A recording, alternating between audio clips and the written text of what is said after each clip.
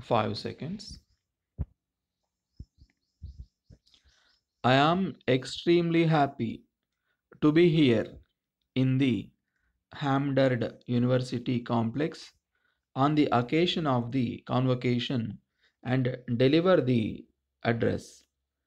At the outset, I congratulate all my friends who have been awarded degrees by this university. I express my desire for your success in your profession and for a full life which would be, from all points of view, full with the sentiment of achievement.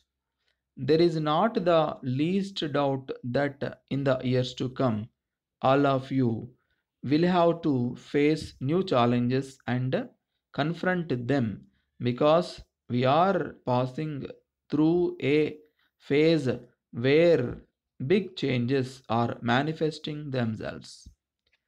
Hamdard University is a unique university of its kind which is engaged in imparting education suited to the needs of the circumstances.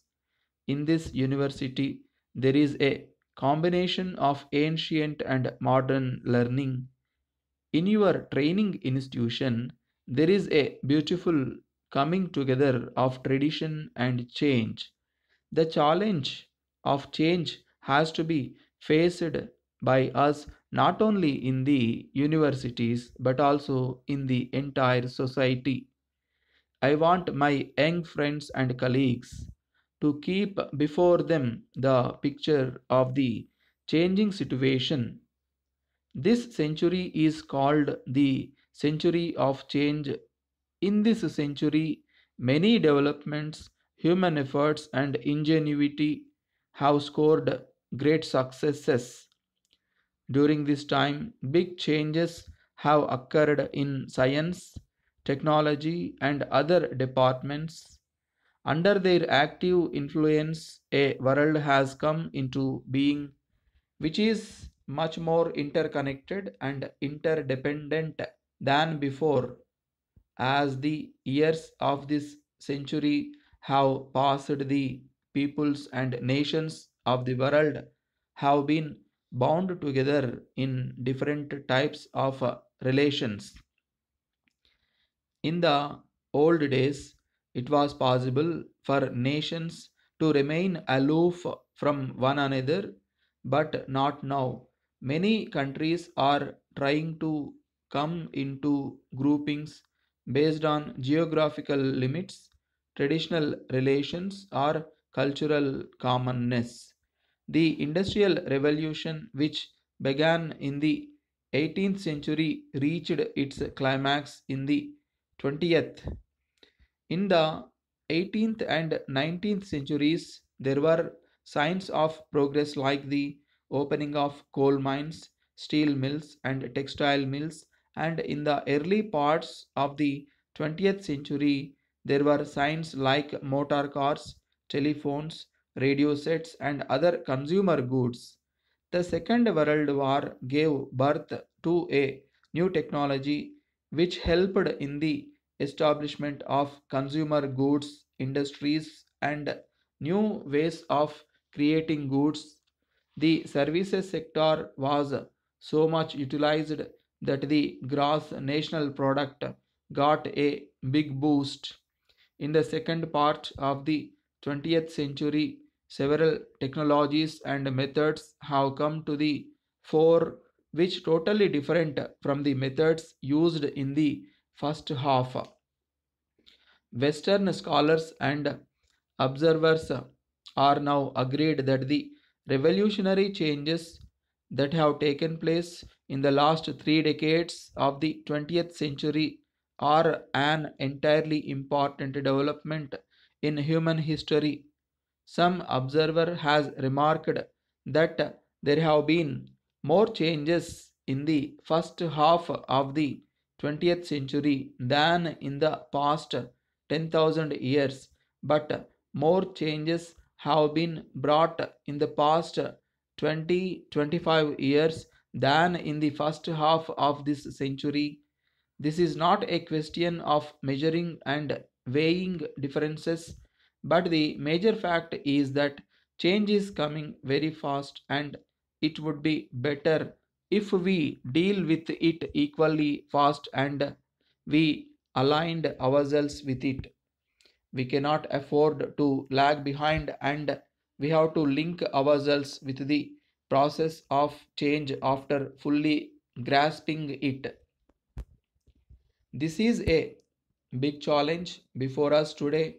The developed countries have begun using new capabilities rather than depend on industries which use energy and effort. Although in some of the wealthy nations, the old technologies and factories running on fuel are not totally closed, particularly those of military and economic value. Even so, these industries are being run with the help of fewer workers and with better use of energy. More progressive technologies than those used before are now being employed. Some people believe that this should not be interpreted as a big step in the direction of industrial progress. They are of the view that a new phase is taking place. This is known as a phase of information, electronics age, space age, age of technology, and so on.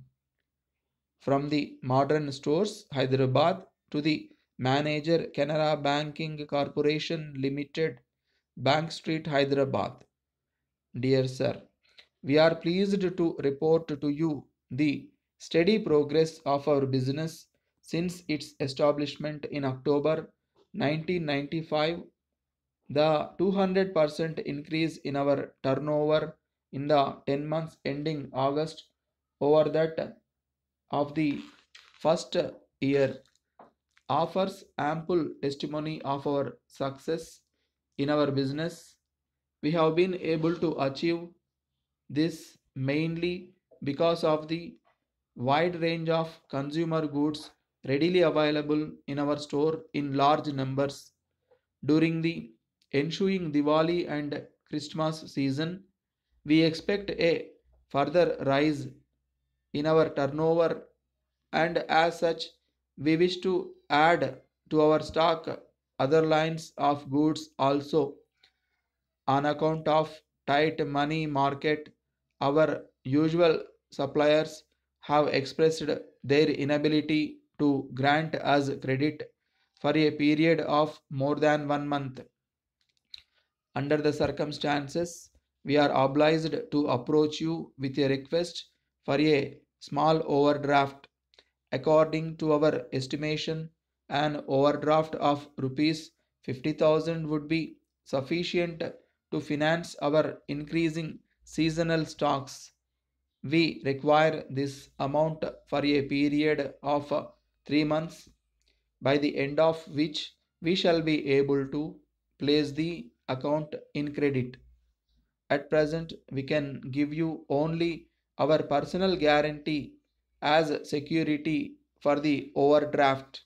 However, we wish to draw your attention to the operation of our current account with your bank in respect of a fair balance maintained regularly, bills and other obligations met promptly, and drafts bought regularly, audited copies of the trading and profit and loss account, and balance sheet as on the date of application are enclosed for your perusal. An early reply will greatly facilitate sending order to our suppliers and having our stocks in time. Yours sincerely.